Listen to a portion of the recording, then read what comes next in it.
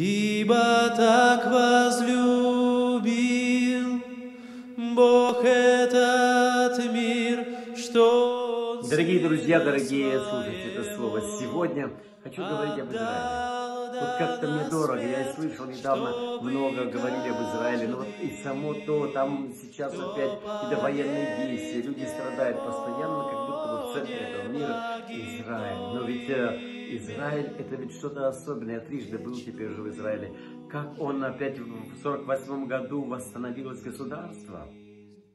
Язык, который уже не говорили, он стал опять языком.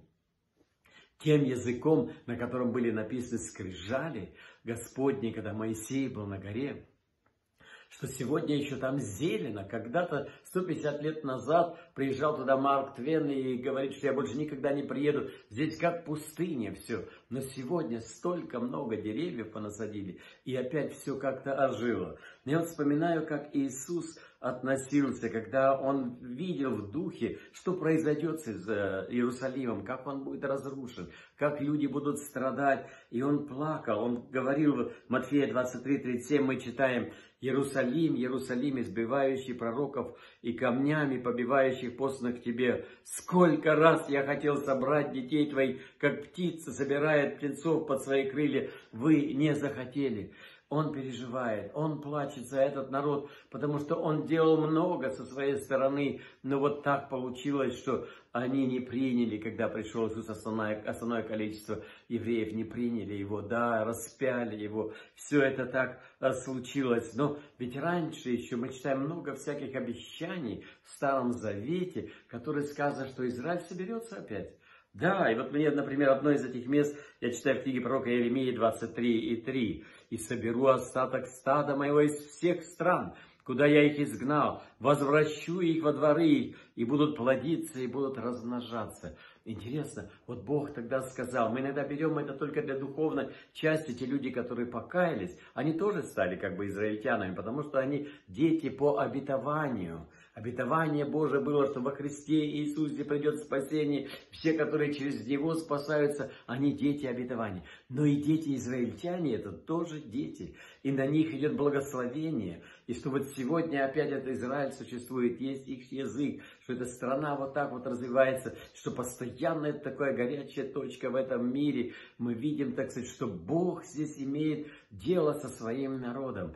И мне интересно, если вот так Иисус переживал, да, уже когда Он знал, как случится, но тем не менее Он вспоминает, сколько много было сделано для Израиля. Я сейчас год прослушиваю Библию, прослушиваю, читаю, само собой, но еще и прослушиваю. И когда ты читаешь всю Библию, все же большая доля Старого Завета, Ветхого Завета, пророки, как они все говорят про Израиль, как его наказывают, как опять появляются добрые цари, потом, так сказать, плохие, и как много Господь работает с этим народом. И вот, так сказать, да, в конце концов, они раз, по всему миру, так сказать, разбросаны. Где-то, казалось бы, говорят, в 300 лет и язык теряется у любой нации, но они сохранили через тысячи лет свой язык, и вот опять они объединяются. Интересно, правда? И когда думаешь, Господь вот так вот, Он э, держит свое слово, и по сегодняшний день, так сказать, есть люди, которые постоянно молятся за Израиль. Они вот как и Иисус переживают за него и говорят ему, Господи, помоги, дай, чтобы спаслись,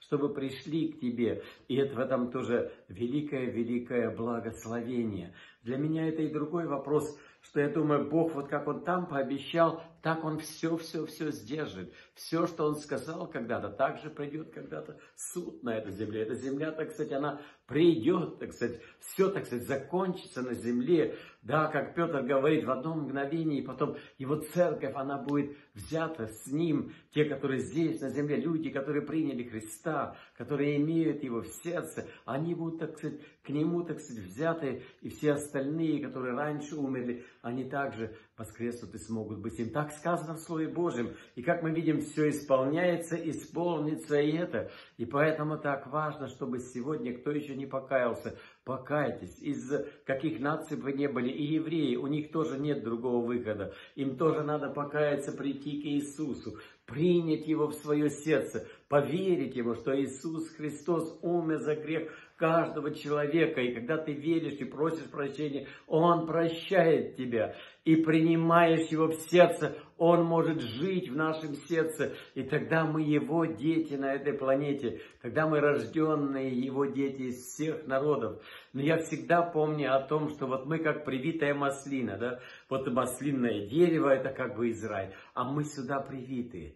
И это тоже, чтобы не гордились, там говорит Павел, но чтобы мы помнили и молились, вспоминали в молитвах об этом народе. Я думаю, это так важно. Пусть Господь благословит. Они и так много настрадались во время последней войны, во много, да, во всех их изгнаниях.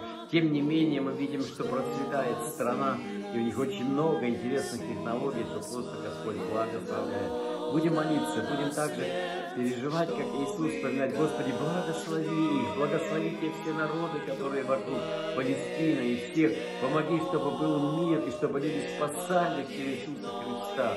Да будет ему слава за все. Аминь. вечную жизнь.